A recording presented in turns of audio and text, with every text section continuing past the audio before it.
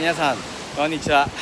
えー、今日は海から中野博です、えー、どこの海かは今のところまだ秘密ですが、えー、こちらとてもですね美しいエラエメラルドグリーンやとても美しい青緑、ね、こういった形のものです、え遠くの方ではですねサーフィンを楽しむ方もいますし、えまあ、こちらねビーチ遠浅で